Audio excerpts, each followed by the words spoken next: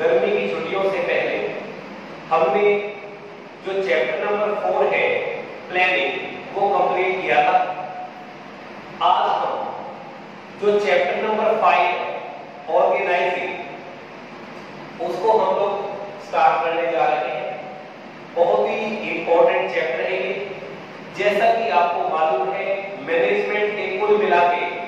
पांच फंक्शन है that is planning organizing staffing directing and controlling ये मैनेजमेंट का सेकंड बेसिक फंक्शन है और बहुत ही इंपॉर्टेंट है दैट इज ऑर्गेनाइजिंग अब देखिए सवाल ये है कि ऑर्गेनाइजिंग क्या होता है organizing is the process of determining organizing function के तहत हम लोग क्या करते हैं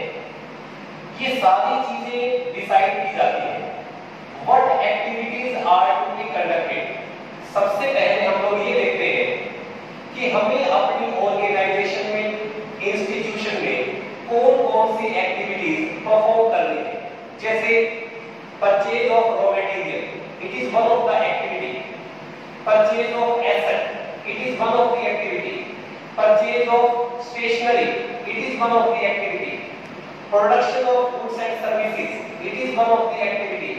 stocking of goods, research,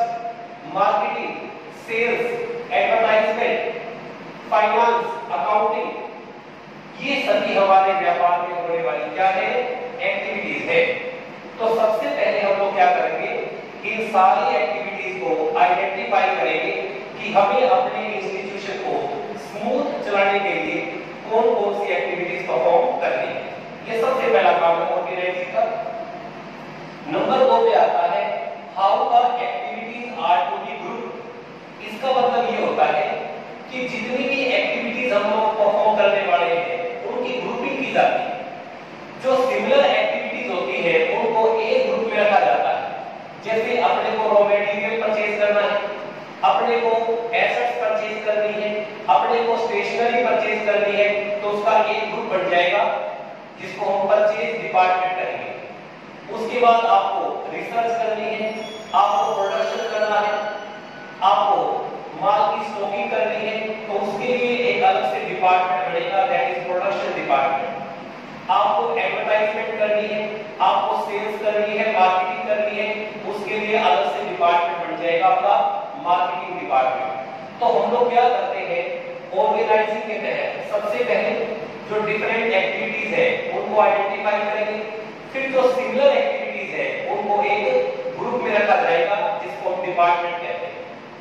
next how authority and responsibility are to be delegated देखिए जब भी किसी व्यक्ति को किसी डिपार्टमेंट को कोई रेस्पॉन्सिबिलिटी दी जाती है कोई काम सौंपा जाता है जिसको हम असाइनमेंट और वर्क बोलते हैं तो हमें यह भी देखना होता है कि उस काम को सही ढंग से करने के लिए उसे कितनी अथॉरिटी चाहिए कितनी पावर चाहिए तो वो अथॉरिटी डेलीगेट की जाती है अथॉरिटी सौंपी जाती है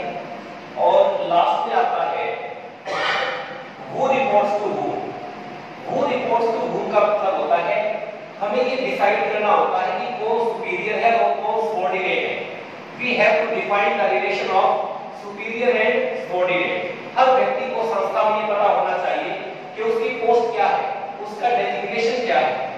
वो किससे ऑर्डर लेगा किससे वो ऑर्डर किसको वो ऑर्डर देगा किसको वो रिपोर्ट करेगा कौन किसको रिपोर्ट करेगा ये सारी चीजें क्लियर की जाती है under the function of organizing तो नेक्स्ट चैप्टर में अगर आप बात करें तो ऑर्गेनाइजिंग एक प्रोसेस है it is not a single activity it's a process सबसे पहले जितनी भी एक्टिविटीज हम संस्था में करेंगे उनको आइडेंटिफाई किया जाएगा उसके बाद जो सिंगल एक्टिविटीज है उनकी ग्रुपिंग की जाएगी उनको एक डिपार्टमेंट के रूप में एस्टैब्लिश किया जाएगा उसके बाद जिस डिपार्टमेंट को जो रेस्पॉन्सिबिलिटी सौंपी जाएगी उसी के प्रपोर्शन में उसको पावर दी जाएगी अथॉरिटी दी जाएगी और उसके बाद सुपीरियर और सबोर्डिनेट का रिलेशन एस्टैब्लिश किया जाएगा कोई व्यक्ति किसको ऑर्डर दे सकता है कोई व्यक्ति किसको रिपोर्ट करेगा इस प्रकार की क्लैरिटी दी जाएगी ताकि ऑर्गेनाइजेशन को स्मूथली चलाया जा सके कम्युनिकेशन को इफेक्टिव किया जा सके this is about organizing now features of organizing जो सेकंड हमारा जो स्टेप रहेगा वो है फीचर्स ऑफ ऑर्गेनाइजिंग देखिए फीचर्स ऑफ ऑर्गेनाइजिंग में सबसे पहले है डिवीजन ऑफ वर्क जब हम ऑर्गेनाइजिंग के फंक्शन को परफॉर्म करते हैं तो सबसे पहले हम क्या करते हैं टोटल काम को छोटे छोटे पार्ट में डिवाइड कर देते हैं क्या कर देते हैं छोटे छोटे पार्ट में डिवाइड और उसके बाद कोई भी काम उसी व्यक्ति को सौंपा जाता है जो उस काम को करने में एक्सपर्ट है निपुण है नेचुरल सी बात है जब एक व्यक्ति जिस काम को करने में एक्सपर्ट है उसको वही काम सौंपा जाएगा तो हमें बेनिफिट ऑफ स्पेशलाइजेशन मिलेगा क्योंकि वो व्यक्ति धीरे धीरे उस काम को करते करते एक्सपर्ट हो जाएगा उसकी एफिशिएंसी इंप्रूव होगी उसका फायदा सबका को मिलेगा ओके नंबर दो पे आता है कोऑर्डिनेशन कोऑर्डिनेशन का मतलब होता है तालमेल तो we have to establish coordination among the various department for example एक परचेज डिपार्टमेंट है एक आपका प्रोडक्शन डिपार्टमेंट है एक आपका सेल डिपार्टमेंट है तो कल को अगर मान लीजिए सेल डिपार्टमेंट कोई ऑर्डर लेता है तो वो तुरंत प्रोडक्शन डिपार्टमेंट को इन्फॉर्म करेगा कि हमने इतने माल का ऑर्डर ले लिया है आने वाले महीने में हमें इतना माल तैयार चाहिए प्रोडक्शन डिपार्टमेंट तुरंत परचेज डिपार्टमेंट को कहेगा कि हमें इतना रॉ मटेरियल परचेज करके दो हमें प्रोडक्शन करके सेल डिपार्टमेंट को परचेज डिपार्टमेंट फाइनेंस डिपार्टमेंट को कहेगा कि पैसे को अरेंज करो हमें इतना मटेरियल परचेज करके प्रोडक्शन डिपार्टमेंट को देना है तो ऐसे क्या होगा सभी डिपार्टमेंट्स के अंदर कोऑर्डिनेशन होगा तो ऑर्गेनाइजेशन का हमें फायदा मिलेगा प्लूरलिटी ऑफ पर्सन देखिए ऑर्गेनाइजिंग का जो फंक्शन है वो वहीं पे काम करेगा जहां पे किसी संस्था के अंदर बहुत सारे व्यक्ति काम करते होंगे जब किसी केवल अकेला व्यक्ति काम करता है तो वहां पे ऑर्गेनाइजिंग फंक्शन की आवश्यकता नहीं होती इस फंक्शन को परफॉर्म करने के लिए बहुत सारे लोगों का होना जरूरी है और नंबर चार पे आता है कॉमन ऑब्जेक्टिव देखिए आप एक संस्था में देखोगे कितने सारे डिपार्टमेंट हैं और हर डिपार्टमेंट अपना अपना काम करता है जैसे परचेज डिपार्टमेंट परचेजिंग में लगा हुआ है प्रोडक्शन डिपार्टमेंट प्रोडक्शन में लगा हुआ है सेल डिपार्टमेंट सेल करने में लगा हुआ है फाइनेंस डिपार्टमेंट फाइनेंस को मैनेज करने में लगा हुआ है अकाउंटिंग डिपार्टमेंट अकाउंटिंग करता है वैसे तो सारे के सारे डिपार्टमेंट अपना अपना काम करते हैं लेकिन ऑब्जेक्टिव सभी का एक ही है सभी संस्था की, की जो बेसिक ऑब्जेक्टिव है जैसे प्रॉफिटेबिलिटी को इंक्रीज करना संस्था को एक्सपेंशन ग्रोथ उसके लिए काम करते हैं तो चाहे सारे देखने में अलग अलग काम करते हैं लेकिन अल्टीमेट ऑब्जेक्टिव सभी का एक ही होता है okay okay? So these were the features of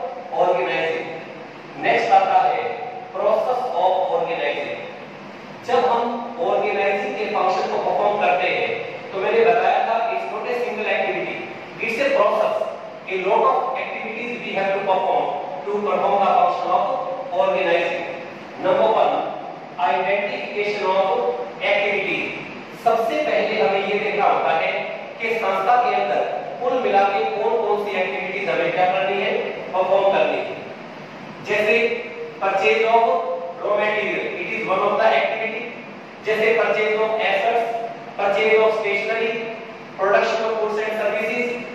stocking of goods, selling of goods, advertisement of goods. These are so many activities. So first of all, we have to identify the activities which are to be performed in the organization. First of all, secondly, departmentalization. Departmentalization में क्या होता है जितनी भी activities हम संस्था के अंदर परफॉर्म करने वाले होते हैं हमें उसकी ग्रुपिंग करनी होती है ग्रुपिंग का मतलब होता है जो सिमिलर टाइप ऑफ एक्टिविटीज है उनको एक ग्रुप में शामिल किया जाता है जैसे कि आपको रॉ मटेरियल परचेज करना है आपको स्टेशनरी परचेज करनी है आपको एसेट परचेज करनी है तो उसको हम एक ग्रुप में रखेंगे जैसे आपको प्रोडक्शन करना है रिसर्च करनी है आपको स्टॉकिंग ऑफ गुड्स करना है उसको हम प्रोडक्शन डिपार्टमेंट के अंदर रखेंगे हमारे को एडवर्टाइजमेंट करनी है मार्केटिंग करनी है सेल करनी है उसको हम एक अलग से डिपार्टमेंट में रखेंगे दैट इज मार्केटिंग डिपार्टमेंट तो इस प्रकार से जो सिमिलर एक्टिविटीज है उनको एक ग्रुप में शामिल किया जाएगा जिसको हम क्या बोलते हैं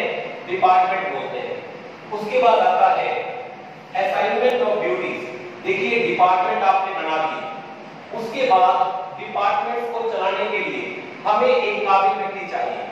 परचेज डिपार्टमेंट को चलाने के लिए एक अलग से व्यक्ति को अपॉइंट किया जाएगा जिसको हम क्या बोलेंगे परचेज मैनेजर जो प्रोडक्शन डिपार्टमेंट है उसको चलाने के लिए हमें अलग से एक्सपर्ट चाहिए प्रोडक्शन मैनेजर मार्केटिंग को चलाने के लिए मार्केटिंग मैनेजर फाइनेंस को मैनेज करने के लिए फाइनेंस मैनेजर तो ध्यान रहे जितने भी अलग अलग ये डिपार्टमेंट होते हैं इनको एक कैपेबल व्यक्ति की गाइडेंस में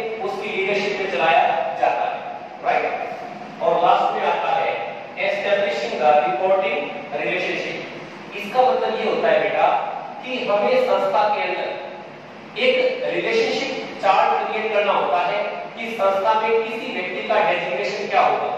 उसके नीचे काम करने वाले व्यक्तियों को सबोर्डिनेट कहा जाता है उससे ऊपर काम करने वाले को सुपीरियर कहा जाता है तो we have to create the structure of relationship that is called the relation of superior and subordinates हर व्यक्ति को यह पता होना चाहिए कि कौन मेरे नीचे काम करेगा और कौन मेरा बॉस होगा कौन मुझे ऑर्डर दे सकता है मैं किसको ऑर्डर दे सकता हूं कौन मुझे रिपोर्ट करेगा और मैं किसको रिपोर्ट करूंगा इस प्रकार की रिलेशनशिप क्लियर होनी चाहिए इससे संस्था का जो कम्युनिकेशन सिस्टम है जो एडमिनिस्ट्रेशन सिस्टम है वो काफी क्या होगा इफेक्टिव होगा okay and next point is importance of organizing देखिए जो मैंने आपके साथ मीटिंग डिस्कस किया आपके साथ जो टीचर डिस्कस की आपके साथ जो प्रोसेस डिस्कस किया उससे काफी हद तक जो ऑर्गेनाइजिंग की जो इंपॉर्टेंस है वो आपको क्लियर हो गई होगी फिर भी हम कुछ पॉइंट डिस्कस करते हैं इसकी इंपॉर्टेंस जैसे पहला पॉइंट है बेनिफिट्स ऑफ स्पेशलाइजेशन आप सभी को पता है under the function of organizing जो व्यक्ति जिस काम को करने में एक्सपर्ट होता है उसको वही काम सौंपा जाता है उसका फायदा ये मिलता है कि काम की जो क्वालिटी है वो इंप्रूव होगी वेस्टेज कम से कम होगी डुप्लीकेशन ऑफ वर्क नहीं होगा ओवरलैपिंग ऑफ वर्क नहीं होगा तो ये सारे फायदे हमारे को मिलेंगे जो हमारे रिसोर्सेज हैं उनका ऑप्टिमम यूटिलाइजेशन होगा ओके नंबर दो पे आता है क्लैरिटी इन वर्किंग रिलेशनशिप हर व्यक्ति को ये पता होगा कि मेरा सुपीरियर कौन है मेरा सबोर्डिनेट कौन है किसको मैं ऑर्डर दे सकता हूँ कौन मुझे ऑर्डर दे सकता है मुझे किसको रिपोर्ट करना है कौन मुझे रिपोर्ट करेगा और जितनी वर्किंग रिलेशनशिप में कनेक्टिव होगी उतना ही कम्युनिकेशन इफेक्टिव होगा उतना ही एडमिनिस्ट्रेशन आपका इफेक्टिव होगा ओके नंबर तीन पे आता है ऑप्टिमम यूटिलाइजेशन ऑफ रिसोर्सेज देखिए तीन प्रकार के रिसोर्सेज एक ऑर्गेनाइजेशन में पाए जाते हैं एक होते हैं आपके फिजिकल रिसोर्सेज जिसमें आपका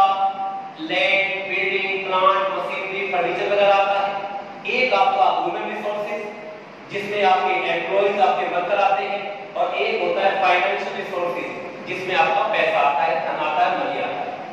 तो देखिए ऑर्गेनाइजिंग फंक्शन के तहत इस बात का पूरा पूरा ध्यान रखा जाता है कि जितने भी हमारे रिसोर्सेज हैं उनका अच्छे से अच्छे प्रयोग हो हम बिल्कुल नहीं चाहते कि हमारे रिसोर्सेज की वेस्टेज हो क्योंकि हमारे पास जितने भी रिसोर्सेज होते हैं बहुत वैल्यूएबल होते हैं बहुत ही लिमिटेड होते हैं तो हमें उनका अच्छे से प्रयोग करना होता है ऑर्गेनाइजिंग फंक्शन के तहत जितने भी रिसोर्सेज है उनका ऑप्टिमल यूटिलाइजेशन किया जाता है एडेप्टेशन टू चेंज अब देखिए जिस प्रकार के एनवायरमेंट के अंदर हम काम करते हैं उसको डायनामिक एनवायरमेंट बोलते हैं देखिए डायनामिक एनवायरमेंट का मतलब होता है जिसमें लगातार चेंजेस होते रहते हैं एनवायरमेंट के अंदर आपका पॉलिटिकल एनवायरमेंट है आपका लीगल एनवायरमेंट है सोशल एनवायरमेंट है तो इसके अंदर लगातार चेंजेस होते रहते हैं इन चेंजेस को नहीं रोक सकते हमें अपनी ऑर्गेनाइजेशन को इस काबिल बनाना है कि जब भी कोई चेंज हो तो हम उस चेंज को हैंडल कर सके उस चेंज को चैलेंज कर सके उस चेंज को एक्सेप्ट कर सके और अपनी ऑर्गेनाइजेशन को उसके अनुसार माउंट कर सके तो ऑर्गेनाइजिंग फंक्शन के तहत हम संस्था को इस चीज के लिए तैयार रखते हैं कि अगर एनवायरमेंट में कोई चेंज होगा तो हम उसको इजीली अडेप्ट कर सके उसके नेगेटिव इंपैक्ट को न्यूट्रलाइज कर सके development of personnel organizing function के तहत जो व्यक्ति के अंदर जो काबिलियत होती है जो कॉम्पिटेंस होती है जो एफिशिएंसी होती है उसी के अनुसार काम को सौंपा जाता है और नेचुरल सी बात है जब एक व्यक्ति को उसके इंटरेस्ट के मुताबिक उसकी कॉम्पिटेंस के मुताबिक काम सौंपा जाता है तो वो अपने फुल पोटेंशियल पे काम करता है और जब एक व्यक्ति फुल पोटेंशियल पे काम करता है तो उसकी भी ग्रोथ होती है उसकी भी डेवलपमेंट होती है और last one is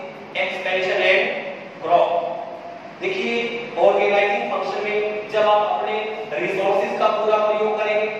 benefit of specialisation आपको मिलेगा डिवीजन ऑफ वर्क का आपको फायदा मिलेगा तो नेचुरल सी बात है आपकी संस्था एक्सपेंड होगी आपकी संस्था क्या करेगी ग्रो करेगी ओके बेटा take care stay at okay thank you